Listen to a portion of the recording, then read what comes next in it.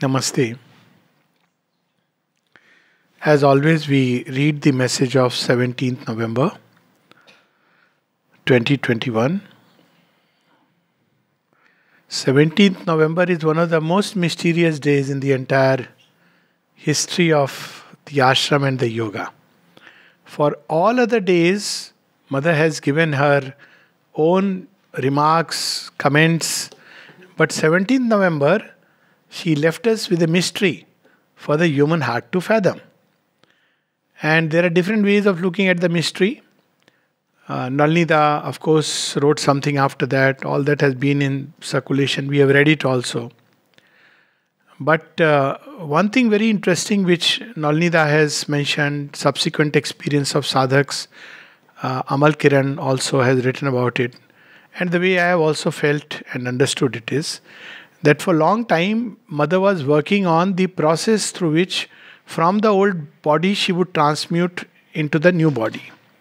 The new body was already being prepared over a long period of time, picking up cells from here, there, whatever cells were responding. And eventually, the new body was ready. She speaks about the new body, she speaks about the consistency and everything. And she is figuring out a way that how the new body can be fused into the old or the old transmuted into the new. Among the different processes that she suggests, one of them is switching over to a new body which meant the new body is ready and she takes the leap from the old into the new. It's the same analogy which uh, George Van Vrekhem has described as the mutation of the caterpillar into the butterfly. Everything changes. Only a small thin skeleton of the caterpillar remains, but everything else is new, different, and the caterpillar world has no more any recognition of what this butterfly world is. So after that transmission, this is how the change takes place from uh, many of her remarks, and because this is short reflection on the message, I'll not uh, go into all that. But the sum and substance of it is that it seems that more and more human beings who will evolve to a certain point will be there with everything ready um, to see how many how many can eventually come out of the old creation and then there will be a fusing. Now, this comes also from one of our very interesting observations about Sri Aurobindo that Sri Aurobindo left the body deliberately and she says he has promised to come in the new supra, first supramental body created in the supramental way.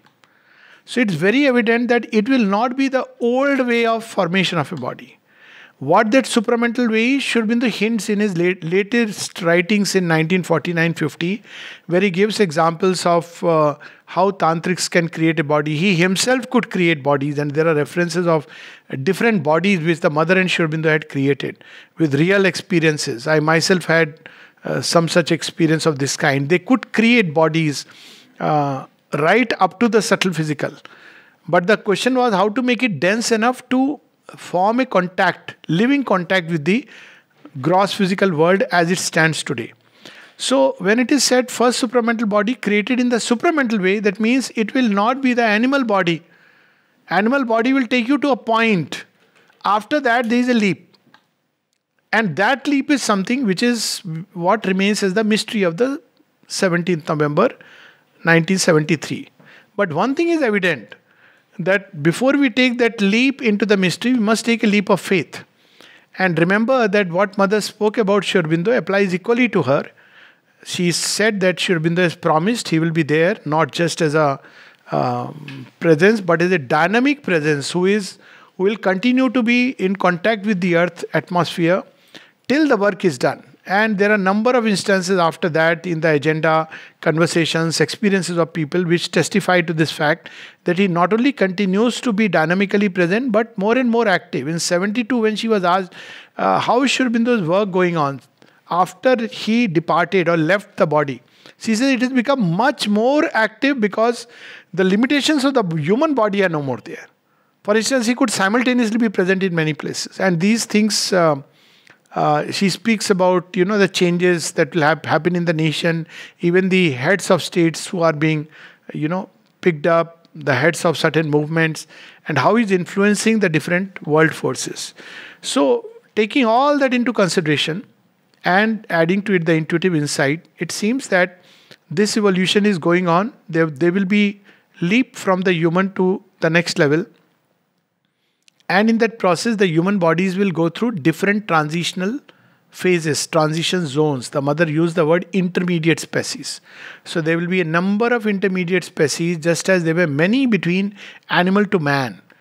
And we all are something like an intermediate species. So we are neither fully human anymore, all the values have begun to change. And we are neither superhuman because that is yet in this gross body, it is, doesn't manifest. It's there in our dreams, in our thoughts, aspirations, feelings. But the human body has the limitations that it is unable to manifest it fully, except in occasions, even glimpses are there.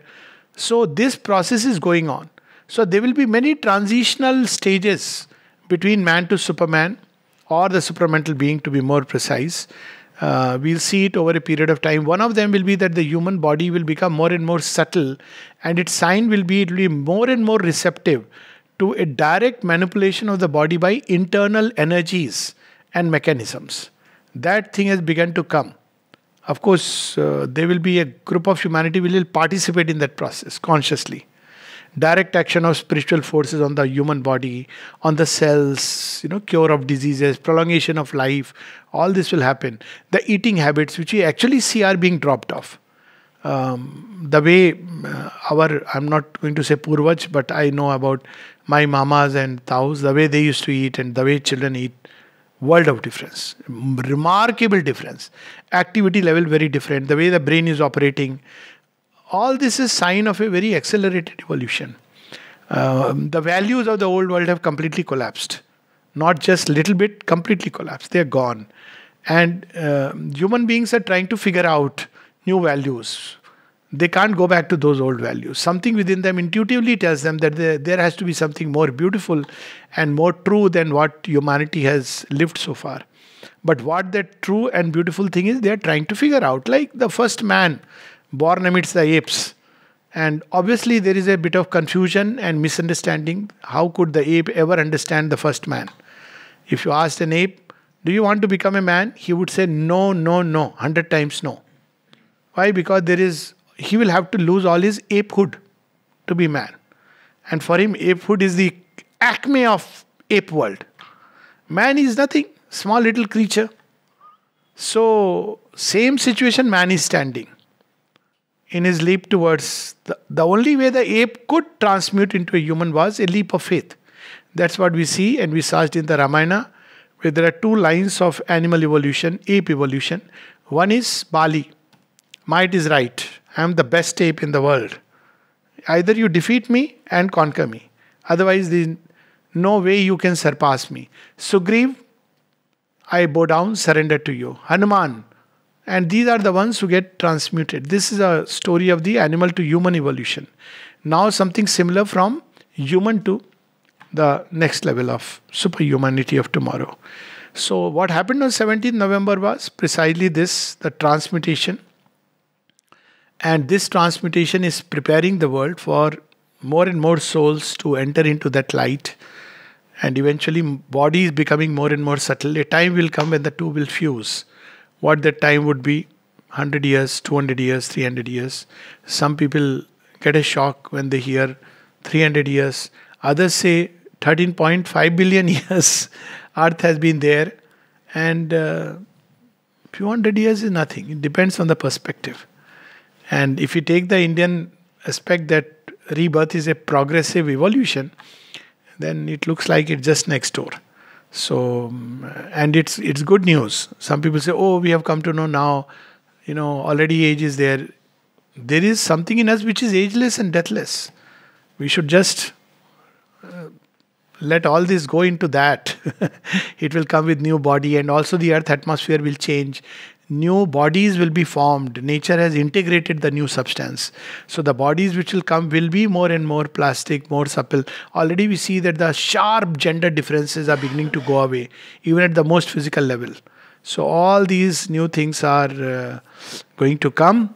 And so the passage will be uh, not the way we normally expect.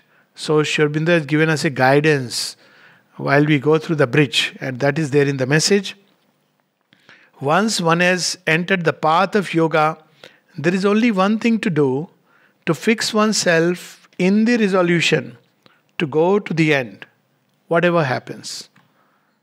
So, yoga is not done for personal comforts and what I will get out of it. So, yoga is done for what uh, we can offer to the divine and let Him use us the way He would wish to. So, yoga is not a, like a, you know, security from today. Since you have signed up for yoga, life is going to be your children will definitely get selected in first shot. You will get windfall of money you will suddenly get some somebody will leave you one lakh fifty thousand pounds who has died anonymous in UK and you can claim that money. None of this will happen. That happens anyways in life. You don't need Sri Aurobindo's yoga for all this. But something else will happen which won't happen otherwise. And that is so unexpected, so new, that one has to be all the time enthused with the adventure of the unknown. And in that process, one thing required is to have the resolution, we have to reach there, doesn't matter. All the rest is immaterial. Whatever difficulties arise, they will arise. They are challenges of evolution. Why should we be afraid of them? When man came in the world, he was the most uh, mal-adjusted creature. Apes are very well adjusted. Even lions stay away. The king of forest, ape is bit away. Man came, didn't know anything about anything most maladjusted, difficulties, challenges. He didn't know that this is my destiny.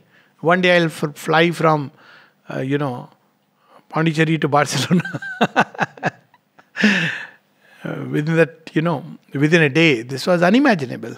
And yet it started from the cave dwelling man, the most. So there, that's what we'll see today, uh, humanity. So difficulties will be there. They are challenges of evolution. They come to bring out our innate capacities.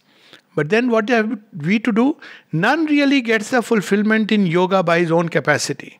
If you are thinking that you are going to do yoga, it's a non starter. Yoga is done by the divine, and it is through the divine doing yoga in earth that man has come.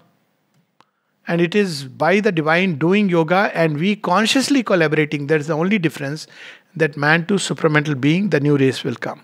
So he says, remember, you are not doing it with your own capacity. It is by the greater force with a capital F that stands over you that it will come. Greater force is, of course, the mother. This is one of those letters which I picked up where Sri Aurobindo is writing to someone who, you know, doesn't have the direct opening. Otherwise, Sri is cautioned. They must say this because when people give a message, they have their own, you know, viewpoints. Sri cautioned you have to open to the mother, not even to the force. Force is very impersonal. You must understand that. Force is force. You open to it, it will start working within you if you are open. What will happen next? The force doesn't look at you very personally, but mother is mother. She will shield you. So here the letter is obviously to somebody who is of a predisposition that he will open to the greater force. So he is obviously res- responding to that. And it is the call, persistent through all vicissitudes, to that force by which the fulfillment will come. The force is, of course, the divine force, whose embodiment is the mother. So he's saying that when you persist in the call, that's how the fulfillment comes. If you turn halfway through, midway, then actually you are neither here nor there. It's the worst state to be in. Take time to take the resolve. So Vivekananda would say, think, read, then a time come when you take a decision. When you take a decision, let it flow into your bones and blood and veins and everything. It's done.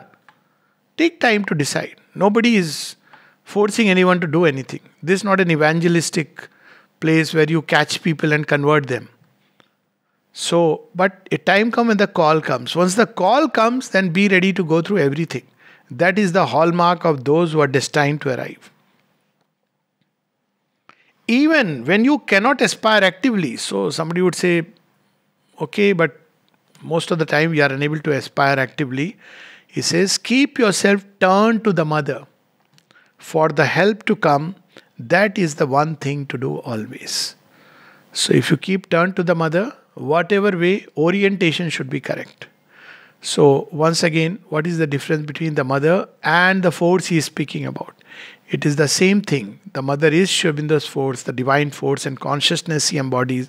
But force is that aspect which shifts the elements and transforms. But the mother is not just the supramental force, she is much more. She is love, she is infinity, eternity, wisdom, power, all other aspects. So he cautions us, not cautions us, but reminds us that it's not a cakewalk. Why should it be? We are human beings, we should not be afraid of challenges of life. Actually, even in human life, you know, what kind of life it would be without challenges? Somebody once, a child reminded me when I was discussing certain things. He said, Oh, wow, this is so good, no? So many wonderful challenges in life. You will have stories to tell when you grow old. I said, Yes, that's how it should be. It should not be that, okay, we were, came, we were born with a silver spoon and left the world with a golden spoon. We just ate and ate and ate, plundered the earth, gathered a lot of money, had a big bank account, got my children educated in some big uh, convent school, whatever it means and at the end of the day, I departed with all the doctors and nursing staff around me. This meaningless life. So life should be like, you know, कबीरा जब हम आए जग हंसा हम रोए ऐसी करनी कीजिए when you go the world cries and you laugh so this is the day when she taught us this is the day of the great sacrifice the great transmutation mother showed us the way like a lioness, God lioness, if I may use the word, how till the end she was, so that even few cells can be transmuted. But 48 hours before her physical withdrawal, they observed the change. And the change was because she had decided. So these cells will not go. And the proof is that when she left the body, you know, mother's normal images, she's quite tall. And when she leaves the body, you see the residue is very small. And a lot of people observed this change. And she herself said, it is the residue which is left. And the butterfly has escaped from that. And now we all are transiting between the caterpillar world and the butterfly world, between man and the supramental being of tomorrow, for which she has opened the path, and built the bridge. All that we need is courage, heroism, and faith not that we have to read too much and understand so much. And her last document, where she says what is needed is heroism. And then she says, heroism is not what we understand. Heroism is to tell your ego your hour is gone. And at the end, she says, All that I need from you is just a sincere yes. And the rest will be done. And a yes that persists through all the challenges and difficulties of life. This is the purport of the message to constantly say yes to the divine and no to all suggestions of failures, denials, disappointment, challenges. Take challenges as elixir, tonic, and difficulties as opportunities. For her touch turns difficulties into opportunities. Namaste.